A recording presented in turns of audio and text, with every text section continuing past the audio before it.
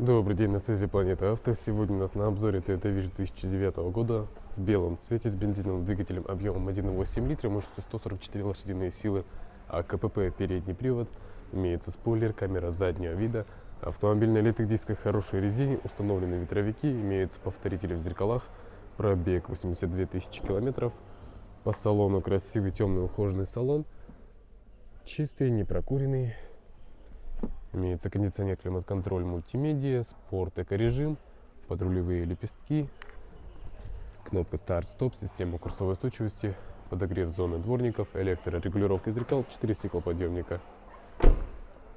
Пройдемся по ЛКП. 87, 91, 91, 94, 98, 102, 94, 94, 81, 93, 101. Актуальную цену наличия данного автомобиля смотрите по ссылке в описании.